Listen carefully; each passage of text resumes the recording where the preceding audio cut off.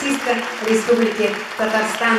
И наш любимый Саяра Выховигулин, заслуженный деятель искусств Республики Татарстан.